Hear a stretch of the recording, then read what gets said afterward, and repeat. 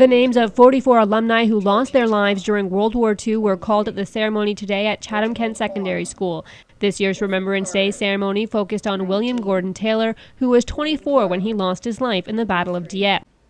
Veterans at the ceremony say it is important for the younger generation to hear these stories.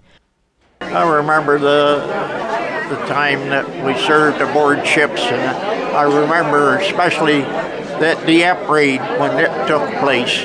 I lost a lot of friends in that. Remembrance Day ceremonies and parades will be held throughout the community on Sunday, with the indoor ceremony taking place for the first time at the Bradley Convention Center. Hundreds of people are expected to attend to honor Canada's fallen soldiers and those who fought for our country. Maureen Revait, BlackburnNews.com.